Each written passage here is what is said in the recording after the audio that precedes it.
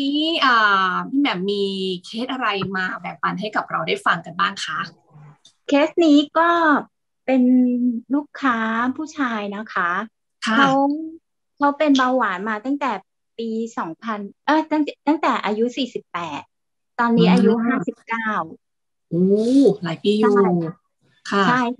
แล้วเขาก็ทานยาเบาหวานมาตลอดเลยอะค่ะ ค่ะ ซึ่งซึ่งเขาอะตอนนั้นอะ ที่ที่คุยกันอะเขาบอกว่า คือคือทานแล้วเขาก็ยา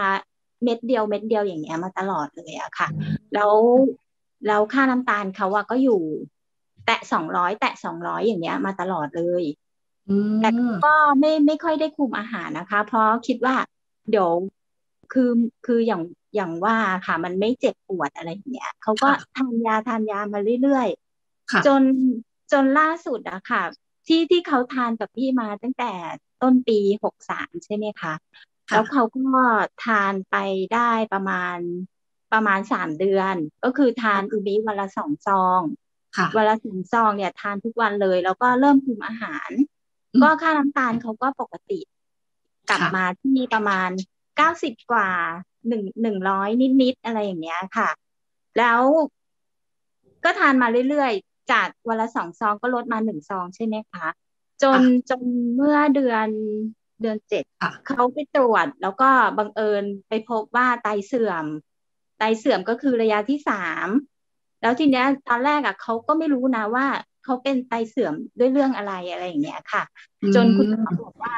ไตเสื่อมอะจากที่เขาเป็นเบาหวานมานานก่อนหน้านี้ใช่ไหมคะ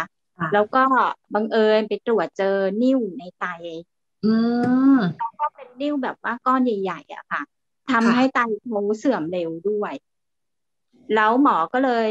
ให้เขาอะไป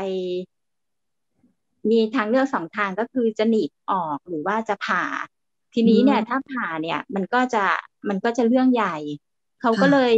ปรึกษา เพราะว่าเขามีเรื่องของประกันประกันสุขภาพอะไรอย่างเงี้ยค่ะ มันก็เลยช่วยเซฟเรื่องค่าใช้จ่ายเขาอย่างเงี้ยค่ะ เขาก็เลยตัดสินใจว่าหนีบออกหนีบหนีบ อะไรอะก้อนนิ้วก้อนนิ้วออกใช่ค่ะ ทีนี้ช่วงที่เขาไปไปหนีบก้อนนิ้วออกอะค่ะ ไตเขาก็เลยแบบเหมือนมันโดนโดนโดนรังสีอะไรหลาย ๆ อย่างอย่างเงี้ย ค่ะทำให้ค่าตายอะเขาแย่ลงกว่าเดิม ก็ตอนนั้นที่เขาตรวจเนี่ย คือ GFR เขาอยู่ที่ห้าสิบจุดสองใช่ไหมคะ แล้วก็แล้วก็ยูริกเขาว่าเจ็ดจุดสี่แล้วก็คีเอทินินเนี่ยคือหนึ่งจุดห้าแล้วหลังจากที่เขาทำการหลีกก้อนนิ้วออกมาแล้วเขาก็ทานอูมิต่อเนื่องเลยนะคะ แต่ว่าเพิ่มเป็นวันละสามซอง เพราะว่าเขาเริ่มรู้แล้วว่าไตอะ คือมันสำคัญกับกับชีวิตเขามากเลยแล้วเขาอายุห้าสิบเก้าแล้ว แล้วที่คุยกันเนี่ยคือ พอเขากเกษียณอายุหกสิบอะเขาจะกลับไปบ้านเกิดเขาที่นครศรีธรรมราชใช่ไหมคะเขาก็เลยไม่อยากป่วยแล้วก็เขามีลูกสาวอีกคนหนึ่งที่แบบว่ายังเป็นวัยรุ่นอยู่อะไรเงี้ยที่ต้องดูแลเขาก็เลยคิดว่า เออเขาต้องกลับมาดูแลตัวเองอย่างเนี้ยค่ะ ก็เลยแบบคุมอาหารเคร่งครัดแล้วก็ทานตรงนี้วันละสามซองสามซองมาตลอดเลย ผ่านไปสี่เดือนนะคะ ค่าตัว GFR เขาขึ้นมาเป็นหกสิบสามจุดเก้าแล้วก็ KAT เหลือหนึ่งจุดสองสามแล้วก็ยูริกเนี่ยลงมาที่ห้าจุดสามซึ่งซึ่งคนนี้คุยคุยกับพี่จนแบบว่า เหมือนสนิทกันเลย เพราะว่าจะไม่ไลน์คุยนะ คือจะโทรคุยกัน ก็คือโทรไลน์มาตลอดเลย แล้วคุยทีอย่างน้อยเนี่ยก็คือ ครึ่งชั่วโมงถึงหนึ่งชั่วโมงพี่ก็โอเคไม่เป็นไรเขาก็จะเล่านู่นนี่นั่นอะไรให้พี่ฟังตลอดเลยเรื่องเรื่องส่วนตัวเขาอะไรอย่างเงี้ยค่ะ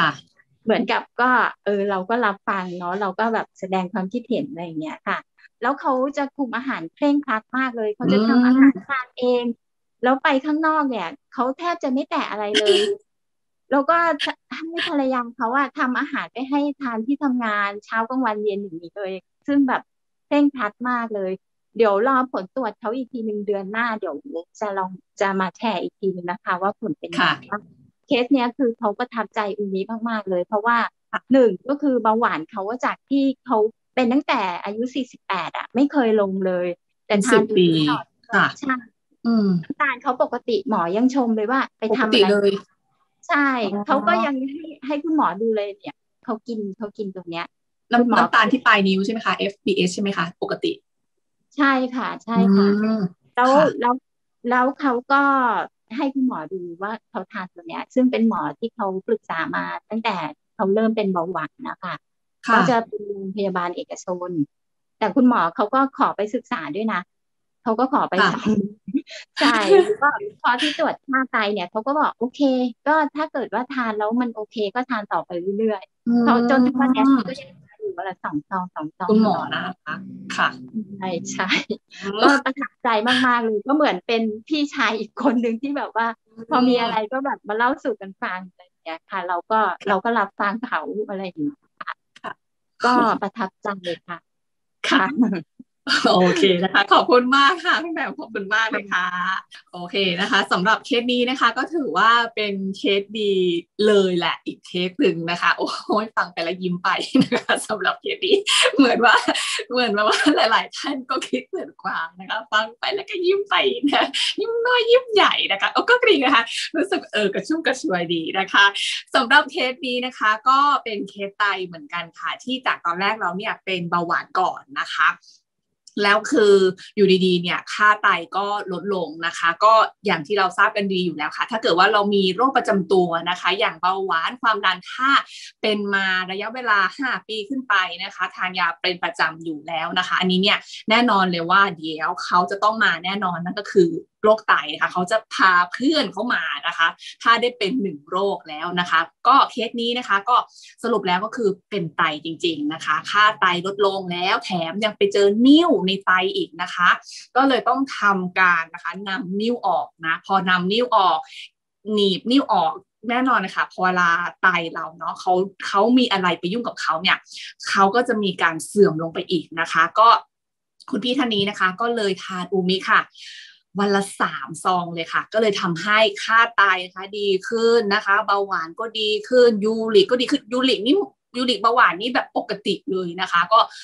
เคสนี้นะคะ ถือว่าเป็นอีกหนึ่งเคสเลยนะคะ ที่ดีแล้วก็ขอให้เคสนี้นะคะ